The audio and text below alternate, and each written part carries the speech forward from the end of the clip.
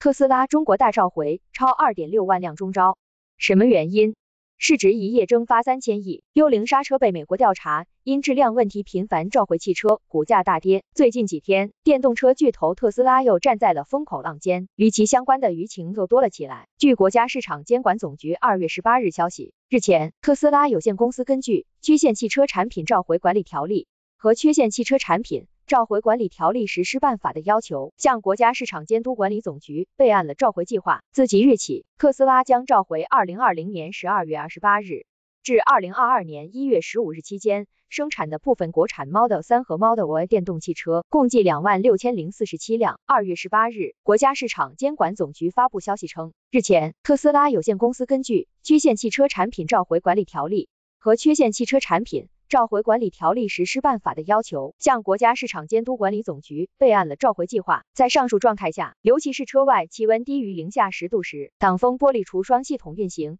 达不到国家相关法规规定的除霜效果，除霜功能下降，对驾驶员视野造成不良影响，从而增加车辆在寒冷天气行驶时发生碰撞风险的可能，存在安全隐患。特斯拉有限公司将通过汽车远程升级技术。为召回范围内的车辆进行软件升级，用户无需到店即可完成召回。对于无法通过汽车远程升级技术实施召回的车辆，二零二一年十二月三日，特斯拉有限公司召回部分国产 Model Y 电动汽车，共计两万一千五百九十九辆，主要涉及转向节问题。二零二一年十二月三十一日，特斯拉有限公司。召回部分国产 Model 3电动汽车，共计十四万四千二百零八辆，主要涉及后备箱盖问题。同时，特斯拉汽车有限公司召回部分进口 Model S 电动汽车，共计一万九千六百九十七辆；召回部分进口 Model 3电动汽车，共计三万五千八百三十六辆。而在美国，特斯拉的召回规模更为庞大。据不完全统计，一月下旬至今一个月不到的时间内，特斯拉在美国已经发起了四次召回，涉及数量超一百四十七万台。二月十日消息。美国国家公路交通安全管理局通报，特斯拉因响问题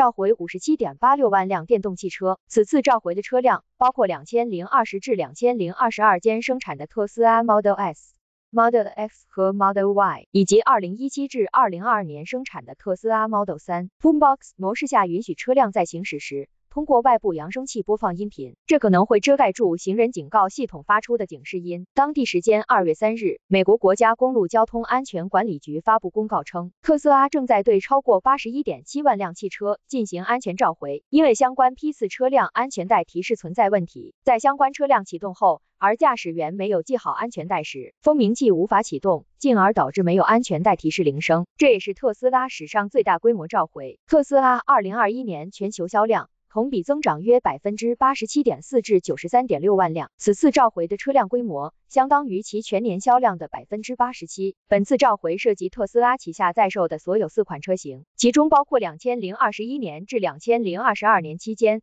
生产的 Model S 和 Model X，两千零一十七年至两千零二十二年期间的 Model 3，以及两千零二十年至两千零二十二年期间的 Model Y。此外，一月十六日，因自动驾驶停车功能，特斯拉在美国召回五点四万辆汽车。二月一日，因除霜除雾系统失灵，特斯拉召回二点六七万辆汽车。大量的汽车召回只是特斯拉面临的众多问题之一。当前，特斯拉更为棘手的问题跟幽灵刹车事件有关。最新消息显示，美国已启动对特斯拉幽灵刹车调查，这直接导致了特斯拉股价的大跌。二月十七日，特斯拉股价大跌百分之五点零九，单日市值蒸发四百八十六。亿美元缩水至九千零五十七亿美元。美东时间二月十七日，美国国家公路交通安全管理局宣布，已经开始调查特斯拉的自动驾驶辅助系统，涉及二零二一款和二零二二款的特斯拉 Model 3和 Model Y 部分车型，共计四十一点六万辆车。原因是该机构接到投诉称，特斯拉的自动驾驶辅助系统 Autopilot。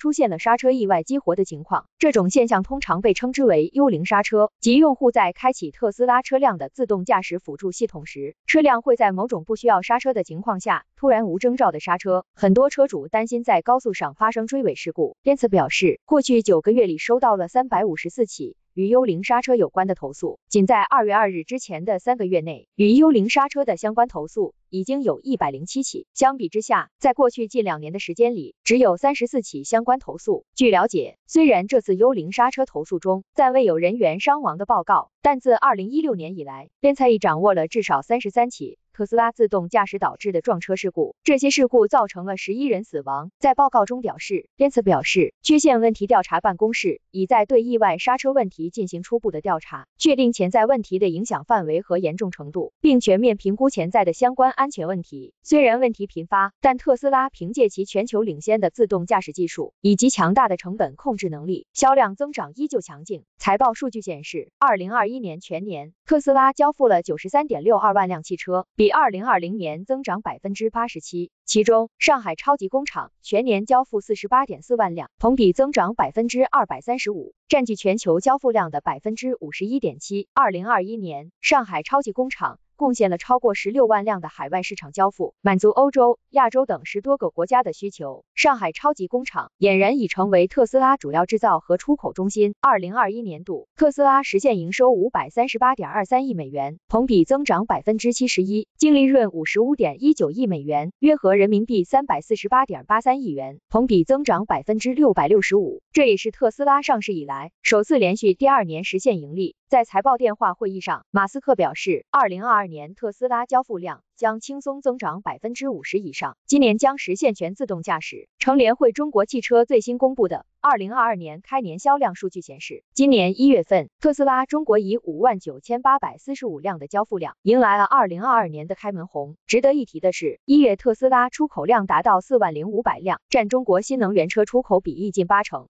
近日，特斯拉第二工厂项目也引发市场关注。二月十二日，由辽宁省人民政府办公厅主办的辽宁发布公众号推送了一篇名为《沈阳市大东区五抓，并举争当振兴发展排头兵》的文章，主要介绍了振兴发展辽宁省沈阳市大东区的五抓策略。其中出现了这样一句话。结合文官片区城市更新，拉开工业发展空间，为特斯拉等重大新能源整车项目落地奠定基础。多家媒体报道称，这或许是传闻已久的特斯拉国内第二工厂。可能落户沈阳市大东区。目前，特斯拉在中国的唯一工厂位于上海，这也是特斯拉在海外的第一座超级工厂。而针对媒体报道的特斯拉在中国的第二座工厂即将落户沈阳大东区的信息，特斯拉中国表示此为不实消息。目前，消息源辽宁发布已经将相关内容删除。去年底，马斯克表示特斯拉将在亚洲布局建设第二座工厂。该消息发布后，引发各方猜测。特斯拉也表示将于二零二二年开启新工厂的。选址工作，并将于二零二三年确定新工厂选址。截至目前，与特斯拉中国第二座工厂的有过绯闻的城市，包括沈阳、广州、深圳、重庆、青岛、西安、合肥、武汉等。